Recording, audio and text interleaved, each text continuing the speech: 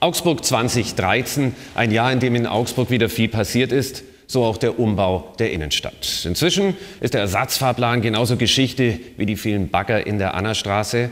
Jetzt wird sichtbar für die Augsburger und natürlich auch für die Besucher der Stadt, warum sie so manchen Umweg in Kauf nehmen mussten. Unser Thema jetzt im Jahresrückblick mit Oberbürgermeister Dr. Kurt Griebel, das Projekt Augsburg City. Herr Dr. Griebel, der Königsplatz ist am 15. Dezember pünktlich eröffnet worden. Da sprechen manche schon von einem Wunder. Nein, Wunder ist es keines, sondern eine Punktlandung. Alle haben konsequent darauf hingearbeitet und ich bin auch sehr erleichtert. Das ist ja nicht selbstverständlich, so eine riesige Baumaßnahme zeitgenau und auch im Kostenrahmen fertig zu kriegen. Äh, da freue ich mich sehr drüber.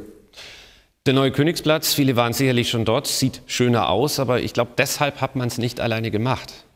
Ästhetik spielt natürlich immer eine Rolle, aber hier geht es um was ganz anderes. Es geht um Mobilität und Funktionalität. Es steigen 120.000 Menschen ein, aus und um an diesem Königsplatz. Das heißt, es muss alles äh, perfekt funktionieren. Es ist der Hauptverkehrsknotenpunkt und er muss leistungsfähig sein. Und zum anderen geht es auch darum, dass äh, älter werdende Menschen auch zurechtkommen können. Dadurch haben wir die Barrierefreiheit jetzt auch mit berücksichtigt, dass Menschen mit Behinderung zurechtkommen. Das heißt, es ist ein Königsplatz, der jetzt wirklich neu aufgestellt und damit auch zukunftsfähig ist. Man sprach gern von Augsburg, aber es wird noch weitergehen. Ich glaube auch, die Sanierung der Fußgängerzone ist noch nicht beendet. Nein, aber wir sind weit vorangeschritten. Wir haben die Annastraße fertig, den Martin-Luther-Platz, den Fuggerplatz.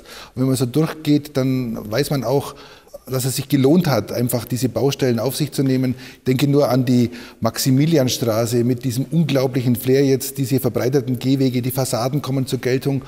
Und ich sehe es einfach so, das, das, Wohnzimmer der Stadt Augsburg ist wieder neu hergerichtet. Wir merken das auch am Christkindlesmarkt, wie das angenommen wird und wie die Menschen sich freuen, wie das äh, letztendlich auch funktioniert. Und ich kann mir durchaus vorstellen, dass auch eine Maximilianstraße, wenn sie denn jetzt neu gestaltet ist und die Bauarbeiten draußen sind, wieder der Ort ist, wo auch Stadtfeste stattfinden können. Also es geht nicht nur um Gestaltung, sondern es geht vor allem um Funktionalität für die Bürgerinnen und Bürger in dieser Stadt.